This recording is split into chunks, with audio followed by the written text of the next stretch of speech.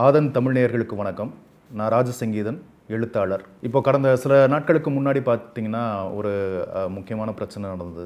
அரக்கோணத்தில் ஒரு கொலை நடந்தது. அது சார்ந்து பல விவாதங்கள் முகநூலில் வந்து எழுதிட்டுருக்காங்க விவரிச்சிக்கிட்டு இருக்காங்க இது வழக்கமாக நம்ம கடந்து போகக்கூடிய ஒரு செய்தி தான் நீங்கள் கரெக்டாக நியூஸ்லாம் வந்து பார்த்துருந்தீங்கன்னா ஸ்க்ராலில் வந்து போகும். ரெண்டு சமூகங்களுக்கு இடையிலான கலவரம் அல்லது மோதல் அப்படின்லாம் வந்து பார்த்துருப்பீங்க. இது என்ன அப்படிங்கிற விஷயத்துக்கு பின்னாடி இருக்கிற அரசியல் என்ன? ஏன் வந்து ஸ்டேட் இப்படி இருக்குது அப்படிங்கிறதெல்லாம் நமக்கு வந்து சொல்லப்படலை விவரிக்கப்படலை.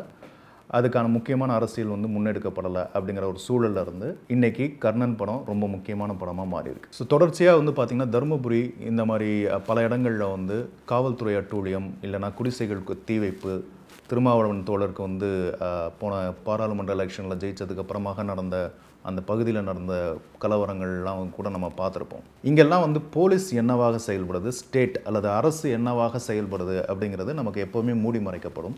அது வந்து கர்ணன் படத்தில் தெளிவாக பட்டவர்த்தனமாக காண்பிக்கப்பட்டிருக்கு. இந்த படத்தில் வந்து ஆரம்பிக்கும் போது தனுஷ் ஒரு முக்கியமான ஹீரோ எல்லாரும் கொண்டாடப்படுற ஹீரோவாக படம் தொடங்குது. அதுக்கப்புறம் அவருக்கு வேற ஒரு வடிவம் இது வரைக்கும் நம்ம தமிழ் சினிமாவில் தனுஷை பார்க்காத ஒரு பாணியில் வந்து அவருடைய களம் வந்து அமையுது. ஊருக்குள்ளே ஒரு புறக்கணிக்கப்பட்ட ஊருக்குள்ளே பஸ்ஸே வந்து வந்து சேராத நிற்காத பஸ் வந்து அந்த ஏரியா பக்கம் கடந்து போகும் பட் நிற்காது உங்களுக்கெல்லாம் எதுக்கு வந்து பஸ் அப்படிங்கிற ஒரு இடத்துல இருந்து தான் வந்து அந்த அந்த கிராமம் வந்து அணுகப்படும். அப்படியான ஒரு ஊருக்குள்ளே இருக்கக்கூடிய நபருக்கு மனநிலை என்னவாக இருக்கும்? இந்த சமூகத்தின் மீது வந்து கோபம் வந்து என்னவாக எப்படி வந்து உருவாகும்? அதை எப்படி அவருக்கு எதிர்கொள்ள விரும்புகிறாரு அப்படிங்கிறது தான் இந்த படத்துடைய அடிப்படையான லைன் இது வந்து ஏன் இப்போ வந்து முக்கியமான படமாக இருக்குன்னா ஏற்கனவே சொன்ன மாதிரி ஸ்டேட் வந்து எப்போவுமே சாதிய பிரச்சனையை என்னவாக அணுகுகிறதுங்கிற விஷயத்தை நம்ம பெருசாக பெருசுப்படுத்துறதில்ல பெருசாக சொல்கிறதும் இல்லை. நாவல்கள் எழுதியிருப்பாங்க. சோழகர் தொட்டிலெல்லாம் வந்து பழங்குடியினரை ஸ்டேட் வந்து எந்த அளவுக்கு வந்து ஒடுக்குறாங்க அப்படிங்கிறதெல்லாம் வந்து எழுதியிருப்பாங்க. பட் படங்களில் ப்ராபப்ளி விசாரணை வந்து சொல்லலாம். விசாரணையில் கூட வந்து உங்களுக்கு ஒரு குற்றம் சுமத்தப்பட்டவர்கள் தான் வந்து ஸ்டேட்டுடைய ரிப்ரெஷனில் வந்து ஆளாகிற மாதிரி காமிச்சிருப்பாங்க. இந்த படத்தில் சாதியின் காரணமாக ஒரு கிராமமே ஸ்டேட் வந்து எப்படி வந்து ஒடுக்குது அப்படிங்கிறது தான் இந்த படம். இன்னும் கரெக்டாக சொல்லணும்னா பொதுவாக ஆளும் வர்க்கம் அப்படின்னு கம்யூனிஸ்ட்டுகள் வந்து ஒரு விஷயம் சொல்லுவோம். ஆளும் வர்க்கம்னா அது பணக்கார வர்க்கம். அந்த வர்க்கம் வந்து ஏழைகளை வறுமையில் உழறுபவர்களை வந்து ஒடுக்குவாங்க அப்படிங்கிறது தான் வந்து புரிதல்.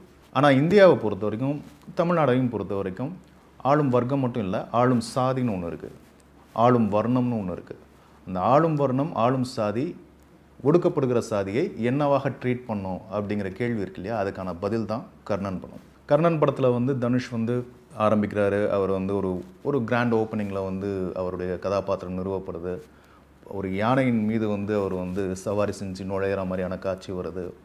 அதுக்கப்புறம் வந்து அதே நேரத்தில் அங்கே இருக்கிற அந்த பேருந்து பிரச்சனை வந்து தொடர்ச்சியாக அந்த கிராமத்தில் குழந்தை பிறப்புக்கு வந்து ஒரு பெண் வந்து போராடிட்டு இருக்கும்போது கூட பேருந்து நிற்காத ஒரு சூழல் இருக்கக்கூடிய கிராமமாக அது இருக்குது அதுக்கப்புறமாக அந்த ஊருக்குள்ளே பஸ் வர்றதுக்கு என்ன மாதிரியான சாத்தியங்களை உருவாக்குறாங்க? கல்லெடுத்து எரிஞ்சாங்க பஸ்ஸுன்னெலாம் வந்து நியூஸ் பேப்பர் படிப்போம் இல்லையா? அதுக்கு பின்னாடி இருக்க காரணம் என்னவாக இருக்கும் அப்படிங்கிறதெல்லாம் பேசியிருக்காங்க. ஸோ அப்படியான ஒரு எதிர்குரலை போலீஸ் வந்து ஒடுக்க பார்க்குது.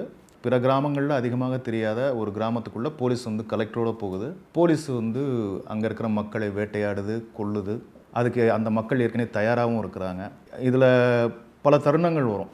பல மொமெண்ட்ஸ் வந்து முக்கியமாக வந்து வரும். தருமபுரியில் வந்து நம்ம திவ்யா இளவரசன் பிரச்சனை அப்போது வந்து குடிசைகளெல்லாம் கொளுத்தும்போது அந்த பிற முக்கியமான ஒரு விஷயம் நடந்ததாக சொல்லுவாங்க. தேடி போய் ஒவ்வொரு குடிசையிலையும் கொளுத்தும் போது அங்கே இருக்கிற அந்த தலித் மக்கள் தலித் இளைஞர்களுடைய படிப்பு சான்றிதழ்களை கிழிச்சு போட்டு கொளுத்துற விஷயம்லாம் நடந்துச்சு அப்படின்னுவாங்க. இது தொடர்ச்சியாகவே வந்து ஆதிக்க சாதிக்கு ஒடுக்கப்படும் அல்லது தலித் பட்டியல் சாதியின் மக்கள் வந்து இளைஞர்கள் படிப்பதுங்கிறது ஒரு மிகப்பெரிய பிரச்சனையாகவே இருந்திருக்கு. நீ எப்படி என் கூட வந்து சேர்ந்து வரலாம்? என்னோட ப பள்ளியில் வந்து நீ எப்படி வந்து படிக்கலாம்? அப்படிங்கிற ஒரு கோவம் வந்து இருக்குது அது சாத்தியப்படும் போதெல்லாம் அதை காலி பண்ணி அவங்களுக்கான வாய்ப்புகளை தட்டி பறிப்பது அல்லது வாய்ப்புகளை அழிப்பது இப்படியான விஷயம் வந்து தொடர்ச்சியாக நடந்துகிட்ருக்கிறது இருக்கிறது. அது இந்த படத்தில் வரும். ஒரு மொமெண்ட்டில் வரும். குடிசையை கொளுத்துவாங்க. குடிசை எறிகிறத கூட பற்றி கவலைப்பட மாட்டாங்க. தன்னுடைய சான்றிதழ் கிழிச்சு போடக்கூடாதுன்னு வந்து கெஞ்சுவாங்க. ஆனால் கிழி தெரிவாங்க. அது பண்ணுறது போலீஸ். ஸோ இங்கே திரும்ப திரும்ப எனக்கு ஒரு முக்கியமான விஷயமாக இந்த படத்தில் புதுசாக ரெண்டு விஷயம் பட்டுச்சு. ஒன்று போலீஸுடைய அட்ராசிட்டி ஸ்டேட் வந்து எந்த அளவுக்கு குறிப்பிட்ட சாதிக்கு எதிராக இருக்குது அது வந்து இந்த படத்தில் தெளிவாக காண்பிக்கப்பட்டிருக்கு. அந்த வகையில் இந்த படம் வந்து தமிழ் சினிமாவில் ரொம்ப முக்கியமான படம். பரியேறும் பெருமாளில் வந்து உட்காந்து பேசலாம் அப்படின்னு வந்து சொல்லியிருந்தார்.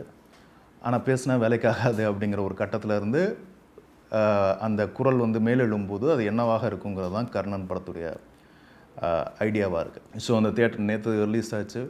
படம் பார்க்கும்போதே மக்கள் வந்து கர்ணன் எதிர்குரலாக உருவாகி போலீஸ் ஸ்டேட்டு ஆண்ட சாதி அல்லது ஆதிக்க சாதிக்கு எதிராக திரும்பி கத்தி வீசும்போது தேட்டர் வந்து கொண்டாடுறாங்க. ஆதிக்க சாதிக்கு வந்து ஆதரவாக தான் மக்கள் இருப்பாங்க இல்லை ஒடுக்கப்பட்ட சாதிகளை வந்து புறக்கணிப்பாங்க அப்படிங்கிற ஒரு வெகு வெகுமக்கள் கருத்து அல்லது பொது புத்தியில் இருக்கிற கருத்து மெல்ல மெல்ல இப்போதைக்கு மாறிட்டு இருக்கு. அது தேட்டரில் க பார்க்க முடிஞ்சது. அது காரணம் பா. ரஞ்சித் தொடங்கி வெற்றிமாறன் இன்றைக்கி வந்து நம்ம மாரி செல்வராஜ் தோழர் வரைக்கும் தொடர்ச்சியாக திரை ஊடகத்தின் வழியாக சாதியின் பின்புலம் சாதியை சார்ந்து சாதி இயங்குவதை சார்ந்து பேசுகிறதும் அதை அதுக்கான எதிர்குரலாக எப்படி வந்து தலித்துகள் பட்டியல் சாதியிலேருந்து உருவாகி வருதுங்கிறத தொடர்ச்சியாக பேசணுன்ற விளைவாகத்தான் நான் பார்க்குறேன். அதே மாதிரி இந்த படத்தில் மாரி செல்வராஜுடைய அந்த முக்கியமான பாட்டு போராடடா பாட்டு வந்து முதல்ல வந்து ஒரு பின்னணியில் வர்ற இசையாக வருது. அதுக்கப்புறம் உட்காந்து பேசும்போது ஒரு சுவத்தில் வர்ற அந்த எழுத்தாக அந்த வார்த்தைகள் வருது.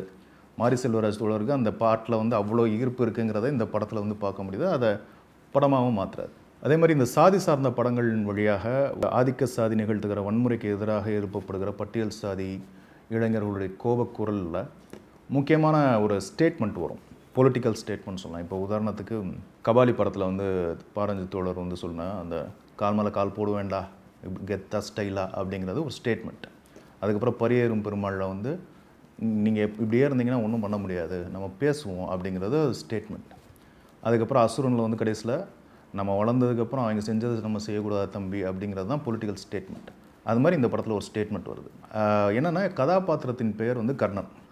போலீஸாக வருபவர் வந்து ஒரு ஆதிக்க சாதி அவர் மீசையெல்லாம் வச்சுட்டு தான் வர்றாரு. அவருடைய பேர் வந்து கண்ணபிரான். கண்ண பரமாத்மா கண்ணபிரான் பேர். அவருக்கு பிரச்சனையாக இருக்கிறதே என்ன அப்படின்னா நீ எல்லாம் எப்படி கர்ணன்னு பேர் வைக்கலாம். இதை தான் வந்து திரும்ப திரும்ப அவர் கேட்பார். முதல்ல வந்து அவர் வந்து அங்கே விசாரிக்கும் போது அங்கே வந்து அவருக்கு சேர் போட்டிருக்க மாட்டாங்க. அதை ஒரு பிரச்சனையாக வந்து அவர் கருதுவார். இவங்க கூடலாம் நின்று பேச வேண்டிய அளவுக்கு இருக்கிறோம் அப்படிங்கிற ஒரு கோவத்திலேயே அவர் இயங்குற மாதிரி இருப்பார். அதுக்கப்புறமா வந்து ஊருடைய தலைவர் வந்து குடும்பம்னு சொல்லிட்டு அவர் வந்து உருமா கட்டியிருப்பார். எப்படி நீ போலீஸ் முன்னாடி உருமா கட்டி நீ பேசலாம் அப்படிங்கிறது அடுத்த பிரச்சனையாக இருக்குது ஸோ இவங்க இந்த பட்டியல் சாதி மக்களை போலீஸ் அதாவது ஸ்டேட் ரெப்ரசன்டேட்டிவாக இருக்கிற போலீஸ் அதிகாரி சமமாக நடத்துவதே வந்து பிரச்சனையாக கருதக்கூடிய சூழலில் தான் இருக்குங்கிறத அந்த காட்சி பிரதிநிதித்துவப்படுத்துது. அதில் உச்சகட்டமாக வந்து எப்படி நீ என்ன நிமிந்து பார்த்து பேசலாம்? உனக்கெல்லாம் என்ன கர்ணன்னு பேர்? இதுதான் வந்து கேள்வியாகுது. இங்கே ரெண்டு விஷயமாக இது பார்க்கலாம். ஒன்று கர்ணன்னு பேர் ஏன் வைக்கக்கூடாது அப்படிங்கிறதான் வந்து டைரக்டர் வந்து கேட்டிருக்காரு. அதான் பொலிட்டிக்கல் ஸ்டேட்மெண்ட்டாக வச்சுருக்காரு. இன்னொரு விஷயம் என்னென்னா இவர் வந்து கண்ணபுரான். அவர் கர்ணன். கூட இருக்கிறவங்க பேர் வந்து துரியோதனன் அபிமன்யு அப்படி மகாபாரத கதைகளாக இருக்கும். ஸோ வந்து இது ஆரம்பத்திலே வந்து மாறி செல்வது பல பேட்டிகள்லையும் சொல்லியிருந்த மாதிரி. மகாபாரதத்தை வந்து நம்ம மணிரத்னம் வந்து தளபதியாக ரீஇன்டர்பிரட் பண்ண பாணியிலிருந்து நான் என்னுடைய பாணிக்கு மகாபாரத்தை ரீஇன்டர்பிரட் பண்ணுறேன் அப்படிங்கிறதுக்கான முயற்சியாக மாரி செல்வராஜ் இந்த விஷயத்தை எடுத்திருக்கிறான்னு நம்ம புரிஞ்சுக்கலாம். எண்டில் வர்ற அந்த ரெண்டு கிராமத்துக்கும் போலீஸுக்குமான சண்டையே வந்து ஒரு குருஷேத்திர போர் மாதிரியான ஒரு காட்சி பாணியில் தான் அவர் வந்து கொண்டு வந்திருப்பார். ஆனால் எனக்கு என்னென்னா திரும்ப வந்து ஏன் வந்து கண்ணபிரானுக்கும் கர்ணனுக்குமான போட்டியாக அதை நோக்கிய பயணமாக இப்போ ஒரு தப்பான அர்த்தத்தை கொடுத்துறாதாங்கிற ஒரு கவலை மட்டும்தான் இருக்குது ஏன்னா திரும்ப திரும்ப நம்ம வந்து கர்நாடக சங்கீதத்தை ஏன் கொண்டாடணும்? பரதநாட்டியத்தை ஏன் கொண்டாடணும்? மகாபாரதத்தையும் கொண்டாடணும்? ராமாயணத்தையும் கொண்டாடணும்? ராமாயணத்துக்குள்ளே வர கதாபாத்திரமாக நான் ஏன் இருக்கணும்னு விரும்புகிறேன் மகாபாரதத்துக்குள்ளே வர வேண்டிய க வர்ற கர கதாபாத்திரமாக நான் ஏன் விரும்புகிறேன் ஏன் வந்து எனக்கான அடையாளத்தை வந்து பார்ப்பன மயப்படுத்தப்பட்ட இலக்கியங்கள் வடிவங்களுக்குள்ளே இருக்கிறதாக நான் யோசிக்கிறேன். அது மணிரத்னம் பண்ணலாம். மணிரத்னம் வந்து அவர் வந்திருக்கிற சூழல் அவர் இயங்குகிற வெளி அவர் முன்வைக்கிற அரசியலின் காரணமாக அவர் அப்படி தான் இருப்பார். அதில் எந்தவித முரண்பாடும் இருக்க முடியாது. அவர் அப்படி இயங்குறது தான் அவருடைய இயல்பு. ஆனால் நம்ம மகாபாரதத்துக்குள்ளே தான் நம்ம அடையாளம் தேடணுமாங்கிற கேள்வி தான் வந்து எனக்கு மிஞ்சிச்சு. ஸோ திரும்ப திரும்ப க எனக்கு என் பேர் வந்து கர்ணனாகவும் இருக்க வேண்டாம். மாடசாமியாகவும் இருக்க வேண்டாம். அது வந்து என்னுடைய விருப்பத்துக்கான பேராக இருக்கிறதுல அது என்னுடைய விருப்பம் சார்ந்த விஷயந்தான் நான் கர்ணன்ற பேரை சூஸ் பண்ணுறது மகாபாரதத்தில் கர்ணன் ஒரு கேரக்டர் வருது. அதுக்காக நான் சூஸ் பண்ணுறேன் அப்படிங்கிறதும் இருக்க தேவையில்லை. அதே நேரத்தில் வந்து இல்லை நீ ஒடுக்கப்பட்டவன். அதனால் உனக்கு மாடசாமிங்கிற பேர் மட்டும்தான் இந்த சமூகம் வந்து வழங்கும். அப்படிங்கிறதுக்கும் நான் ஈல்டாக தேவையில்லை. என்னுடைய விருப்பம் சார்ந்து நான் ஒரு பேரை வைக்கிறேன். அந்த பேர் வந்து முழுக்க முழுக்க என்னுடைய நியாயம் என்னுடைய அரசியல் சார்ந்து தான் இருக்கும் அப்படிங்கிற இடத்துல இருந்து அதை எடுத்துகிட்டு போயிருக்கலாமேங்கிறது என்னோட சின்ன ஒரு கேள்வி தான் அதே மாதிரி மாரி செல்வராஜ் தோழரில் அந்த சினிமேட்டிக் லாங்குவேஜ் அப்படிங்கிறது இந்த படத்தில் ரொம்ப முக்கியமான ஒரு ஆயுதமாக இருக்குது ஏன்னா பொதுவாக திரைக்கதையில் கதைக்கு தேவையான கதாபாத்திரங்களும் அது சார்ந்த உருவகங்களையும் தான் முன்வைக்கிறதுக்கு வந்து இயக்குனர்கள் விரும்புவாங்க. இது இந்த கிராமம் ஊர் பேர் இல்லாத அல்லது வந்து பஸ்ஸே நிற்க நிற்க முடியாத ஒரு கிராமமாக இருக்குது இந்த கிராமத்துக்குள்ளே சம்மந்தம் இல்லாமல் ஒரு யானை இருக்குது சம்மந்தம் இல்லாமல் ஒரு குதிரை இருக்குது சம்மந்தம் இல்லாமல் ஒரு கழுதை வருது. ஸோ வந்து அந்த கழுதைக்கான ஓனர் யாருங்கிறதும் தெரியல. அந்த கழுதையோட முன்னங்கால் வந்து கட்டப்பட்டிருக்கு. அது காரணம் என்னென்னா கழுதையின் ஓனருக்கு வந்து அந்த கழுதையை தன்னுடைய கட்டுப்பாட்டுக்குள்ளே வச்சுக்கிறதுக்காக கட்டப்ப கட்டி வச்சுருக்காரு. அவர் தான் அதை மு- எடுக்க முடியும் அப்படிங்கிற மாதிரி வந்து அதுக்கு காரணமும் சொல்கிறாங்க அதை வந்து உடைக்கிறதின் அதை அறுத்தேறியதுலேருந்து தான் க கர்ணனுடைய விடுதலை பிறக்கிற மாதிரியான காட்சி அமைப்பும் உருவாக்கப்பட்டிருக்கும். ஆனால் என்னென்னா இது நீங்கள் ஒரு லாங்குவேஜாக பார்த்தீங்கன்னா அந்த நிலத்துக்கு சாராத மிருகங்கள் வந்து கழுதை கூட நம்ம ஏற்றுக்கலாம்னு வச்சுக்கோங்களேன் பட் யானைக்கும் குதிரைக்கும் அங்கே ரோல் கிடையாது. யானையின் உச்சியில் எவன் உட்காருவான் அப்படிங்கிற ஒரு விஷயம் வந்து இந்திய நாட்டில் ஒரு அரசியலாக முன்வைக்கிறதுனால யானை சம்மந்தப்படாத நிலத்தில் கொண்டு வந்து யானையை வந்து மாரி செல்வராஜ் நிறுத்தி வச்சிருக்காப்புல. அதே மாதிரி குதிரை சம்மந்தப்படாத ஒரு நிலப்பரப்பில் வந்து குதிரை கொண்டு வந்து நிறுத்தி வைக்கிறார். குதிரை வளர்க்குறதுங்கிறதெல்லாம் ஒரு பெரிய சிரமமான விஷயங்கிற இடத்துல ஒரு சின்ன பையன் வளர்க்குற மாதிரி தான் அது வந்து வச்சுருப்பாரு. ஆனால் இது எல்லாமுமே நமக்கு படம் பார்க்கும்போது ஒரு இடரலாக இல்லாமல் அது அதன் போக்கில் வந்து அழகாக வந்து அமைஞ்சிருக்கும். குதிரையில் அந்த சின்ன பையன் வந்து ஏறி அந்த போலீஸுக்கு ஊடாக வேகமாக வந்து விரட்டிட்டு வரும்போது அவன் கண்ணில் தெரிகிற அந்த கொதிப்பு இருக்கு இல்லையா? அது வந்து ரொம்ப ஈஸியாக வந்து திரையை கடந்து உங்களுக்கும் வந்து பரவக்கூடிய இடத்துல இருந்து அதை எடுத்திருப்பார். மாரி செல்வராஜோட திரைமொழியோட யூனிக்னஸ் அப்படின்னு சொல்லலாம். இது வந்து வழக்கமான படத்தில் எடுத்தால் இந்த கேள்விகள்லாம் வரும். பட் இதில் வந்து இந்த கேள்விகள் எழாத எழாத அளவுக்கு அரசியல் தெளிவாக பேசப்பட்டிருக்கு.